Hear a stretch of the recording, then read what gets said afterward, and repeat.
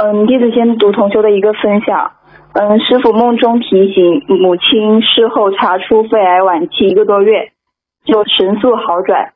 在今年的四月二十七号早上，我做了一个梦，梦到师傅在梦里问我：“你妈妈呢？”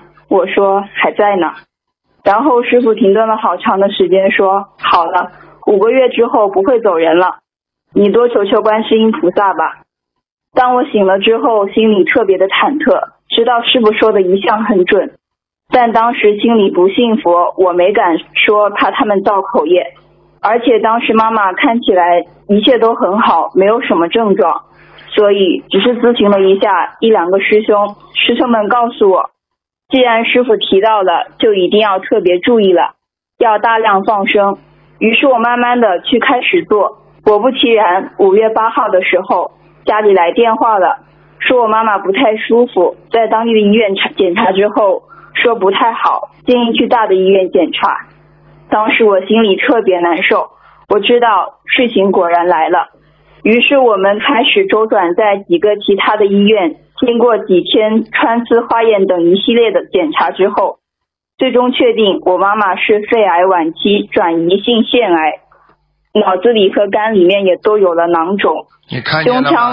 你看见了吗？对，嗯嗯，感恩师傅。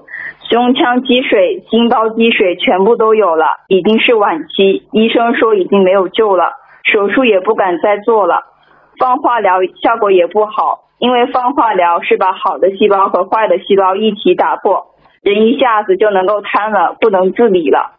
但在住院检查的第三天下午，我好好的和妈妈谈了谈，当时我很激动，双手拉着妈妈的手，我哭着说。妈妈，我跟你说一件事情，你一定要相信。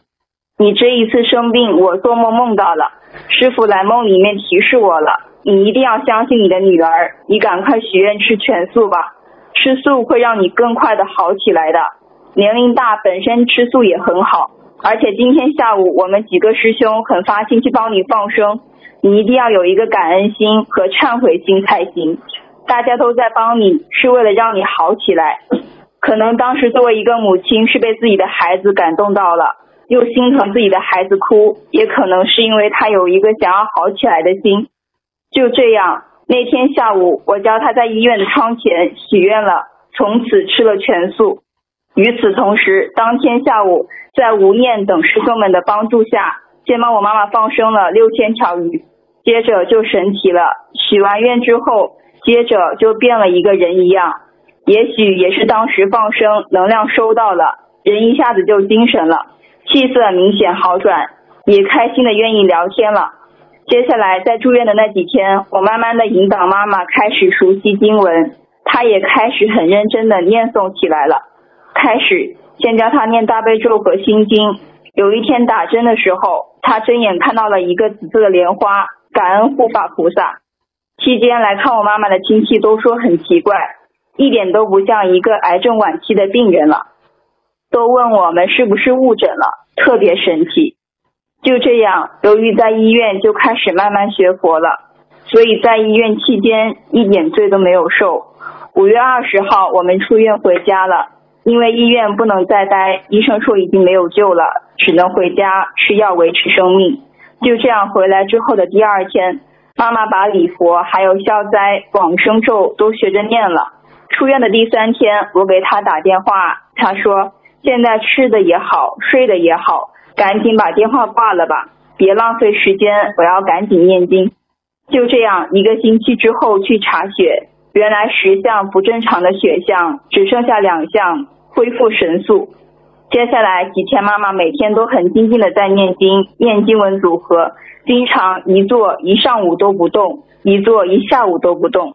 接着出院一。一个月之后去医院复查，神奇的事情出现了，肺部的肿瘤由原来的两点七厘米乘以两点三厘米，直接缩小到横径只有八毫米，而且血液全部都正常了，连师傅都说恢复的太好了，肿瘤直接是直接的明显缩小了。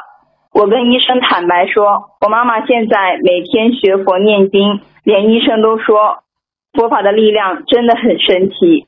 感恩师傅梦中的慈悲加持，感恩观世音菩萨的慈悲保佑。如有说的不如理、不如法的地方，请观世音菩萨和护法神菩萨慈悲原谅，请师傅指正。嗯，师傅跟你们说了，我跟你们法身到你们梦里去是这很厉害、很厉害的，所以你们一定要听师傅话的，提早提醒你们，早一点解决呀，不要等到那一天呀。所以很多人一辈子就是等啊等啊，等到最后灾难来了，逃都逃不过。要积极主动的去避开这些麻烦、烦恼和灾难，听得懂吗？嗯嗯你，听得懂。